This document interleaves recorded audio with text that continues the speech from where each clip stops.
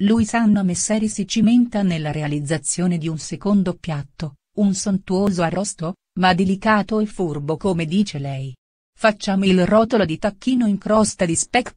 Ingredienti 1 kg di carne macinata di tacchino, 1 kg di ricotta, 150 g di formaggio grattugiato, scorza di un limone, un mazzetto di timo fresco, un omeladadini, 2 tuorli, 80 g di grigli di noci, 20 fette di spcek, 1 bicchiere di vino bianco, olio evo, sale e pepe, brodo vegetale procedimento in una ciotola mettiamo il macinato di pollo, la ricotta devono essere in egual misura, amalgamiamo, uniamo due tuorli, il formaggio grattugiato, la mela tagliata a dadini piccoli, un pochino di timo, i grigli di noci tritati grossolanamente, la scorza grattugiata di un limone, saliamo, pepiamo e mescoliamo il tutto.